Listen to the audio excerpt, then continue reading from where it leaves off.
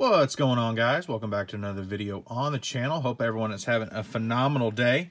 And today we have a new release, Hobby Box Topps Heritage High Number 2022. Been looking forward to this one for a while. So before we get into it, would ask if you could drop down, hit the subscribe button, hit the little bell for notifications, let you know when I upload, and hit that like button. The like button helps push me up the YouTube algorithm, and I would greatly appreciate that. Now, that be all being said, business taken care of Let's do this.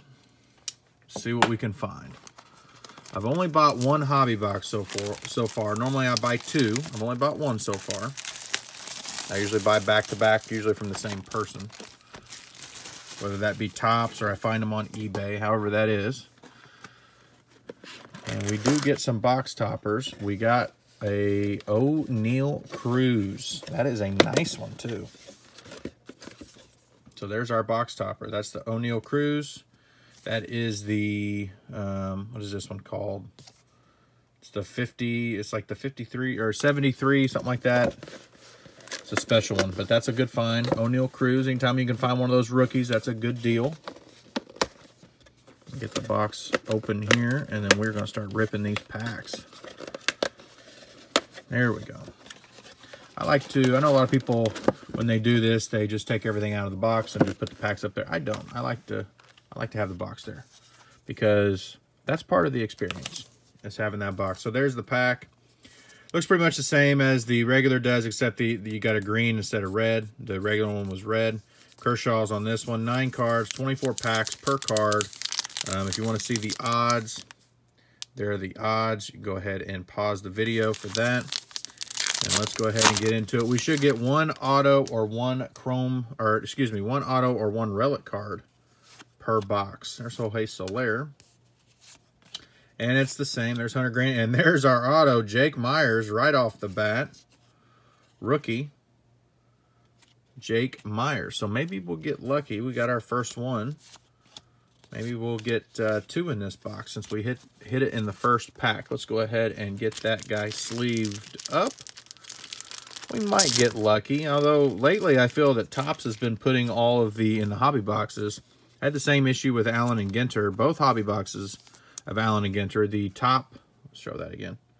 The top three packs had all three um, of the of the relic or the rip card or you know the auto in it so I've noticed that with these these pack or these hobby boxes, at least on this back end of the year. But we'll see. We'll see. So hopefully we'll get an opportunity for another auto, and that won't just be our only one. Jay Pollock, Owen Miller, Liam Hendriks, Adam Frazier, Drew Smyly. So, like I said, same design as the regular um, as the regular Heritage from earlier in the year. So no change there. There's Trea Turner. Has a new home. Jake Meyers, there's the regular one. And Donovan Solano. So next year, this is the 73 design, so that means uh, I'm going to assume next year they're going to do the 74 design, which, you know, is another kind of simple design. It didn't really have, you know, didn't really have a lot of bells and whistles to it, so to speak. So, looks like we got an insert coming up here. We got a rookie performers, Bryan De La Cruz. That's a nice one. set that over there. Kimbrel, Lowe, and Eric Hosmer. Set our base back there. So we get a Bryan De La Cruz rookie performers. No short prints yet. Stroman, Luke Jackson. Here's another one. There's a 73 All-Star Game Highlights. That's a Johnny Bench. That's another um, insert. Nice. Cole Calhoun, Yepez, and Cooper Criswell.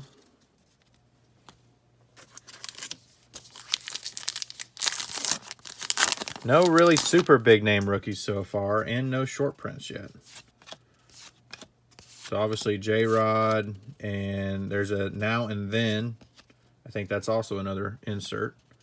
Uh, J-Rod and Spencer, those guys are Bobby Witt. They're all in here, so hopefully we'll be able to find at least a couple of those guys' base cards. Oop, looks like we got a chrome card here. Duran, Lodolo, and it's Marcus Stroman, chrome card for the Cubs. Numbered out of 673. 406 out of 673. Okay, that's that's pretty cool. See what the, um, is that an insert? That look, battery mates, that's an insert. So we've got a couple inserts in this one. Syndergaard, Thomas, and Cole Tucker. Tucker. I'll have to look up the Chrome card. I think the Chrome cards, I don't, I'm not sure they're one per box. Um, Chrome is 1 in 54. Chrome Refractor is 1 in 81. Silver border. That looks like the Chrome silver border. 1 in 145. Okay. No, maybe not. That's just a refractor, I guess. Still, pretty good pull there. Too bad it wasn't J-Rod. Would have really liked it to have been J-Rod. That would have been awesome. There's Spencer Torkelson. I like that shot of him. That looks pretty cool. We'll set him aside. Perez, Diaz, Sanchez, Plummer, Daniel Vogelbach, and San Martin or Martin. Um, we'll put Spencer over here. Hopefully he'll have a couple friends to join him here shortly. Bobby Witt and Julio Rodriguez, hopefully. Josh Reddick. Frazier, Andrew McCutchen, and Josh Hader. Was there two Josh Haders? Josh Reddick, sorry. I was like, wait a second. Wait a second there. We got two of those. I will be glad when Heritage is done for this year. There's Seiya Suzuki. We'll put him over there. I think he's a pretty good rookie.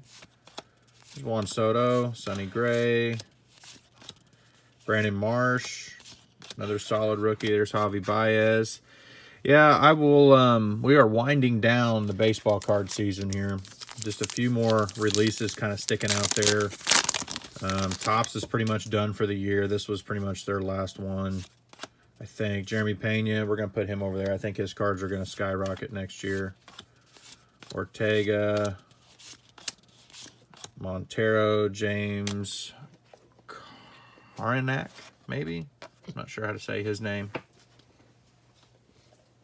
So, I do. I think Pena's cards will, um, I think they're going to take a nice, nice bump next year. And they're going to go up. There's Bryson Stott. There's another good rookie. Steven Kwan, another good rookie. Garcia, Zimmer, and Andre Pallante. So, yeah, very, uh, Topps is pretty much done for the year.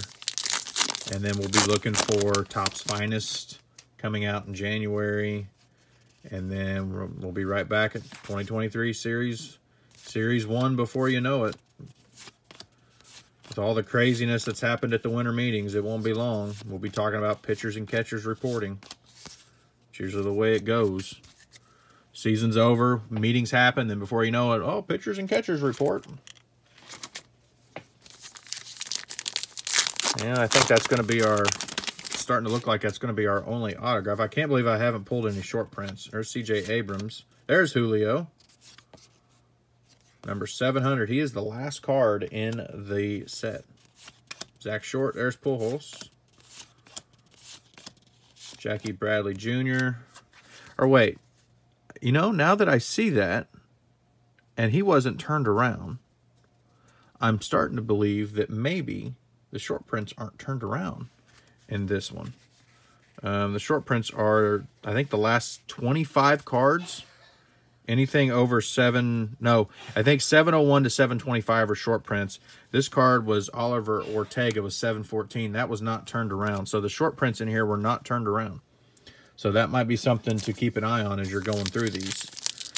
Um, in Series 1, they were turned around for the most part. Well, I should say for the most part. I think not all of them were turned around. Looks like we got another uh, All-Star Game highlights.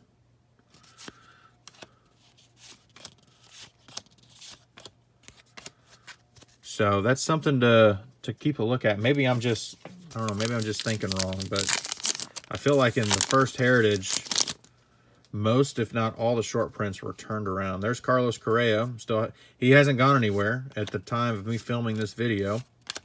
So they're saying that maybe it might be the Yankees. There's a now and then. I was kind of hoping, I'm still holding out hope that the Cubs are going to go after him. Uh, now that Bogaerts is off the board, and he's going to be playing in San Diego, um, the Cubs need a shortstop.